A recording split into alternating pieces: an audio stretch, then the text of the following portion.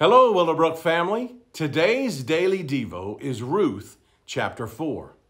As promised by Pastor Mark yesterday, today is about wedding bells. Now, if you've ever been part of a wedding, you know how much planning goes into it. It's quite a production. And everyone in the wedding party wants things to go perfectly. The last thing you want to happen is some distant, crazy relative to show up and ruin everything. Now, in the case of Ruth and Boaz, before there's a wedding ceremony or anything like that, a certain business transaction had to take place. Chapter 3 left us at a dramatic point. Ruth and Boaz were obviously in love and wanted to get married, with Boaz exercising the right of the kinsman redeemer. Yet, there was a kinsman closer to Ruth, and he had priority. Would he claim the right of kinsman redeemer towards Ruth and keep her and Boaz from coming together? Hmm. So, here's the story. Boaz goes to the gate of the city. That's where all the business transactions were carried out. As Boaz was standing there, lo and behold, the closer relative to Ruth passes by. Boaz invites him to sit down and chat with him and the elders. Boaz tells him, Naomi, who has come back from the land of Moab, has to sell the piece of land which belonged to our brother Elimelech. When Boaz brought up the matter to the nearest kinsman, he brought it up as a matter regarding property, something any man would be interested in. You know, anyone would want to buy back a piece of property and keep it in the family.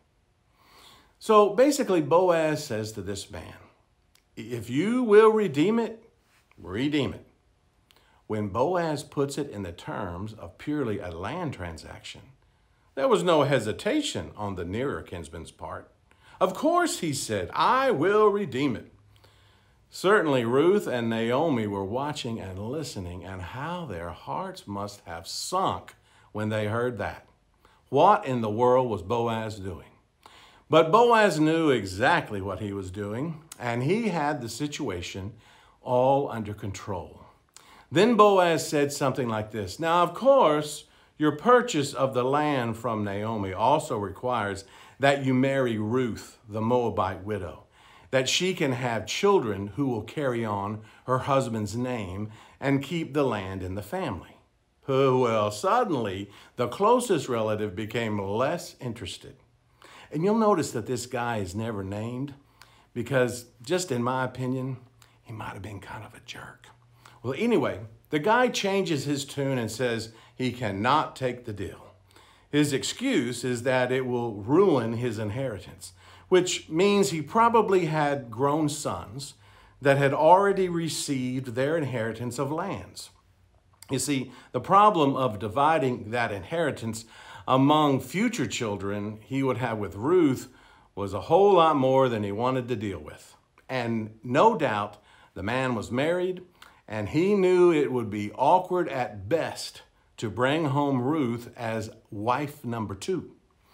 So the man tells Boaz, you redeem my right of redemption for yourself, for I cannot redeem it. These were glorious words in the ears of Ruth and Naomi. The plan of Boaz had a surprise and an unexpected wisdom to it, and it worked. Now, in Deuteronomy 25, it describes the ceremony conducted when a kinsman declined his responsibility. The one declining removed a sandal it was kind of like walking away from their responsibility. So finally, Boaz and Ruth were married, and Naomi was so happy.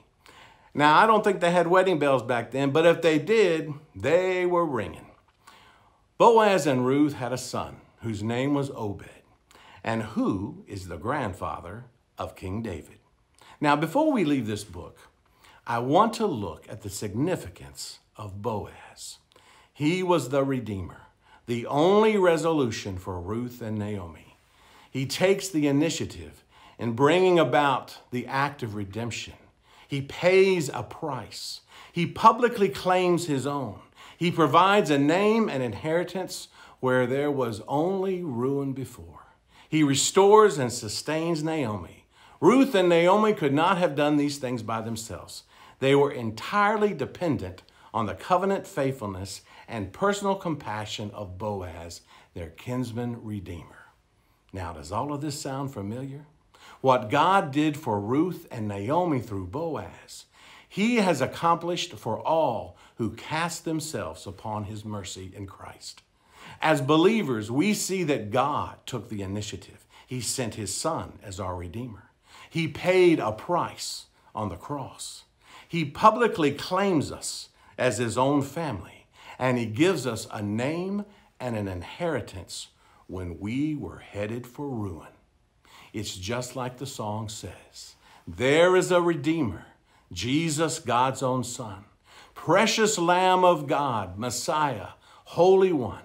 Thank you, O my Father, for giving us your Son and leaving your Spirit till the work on earth is done.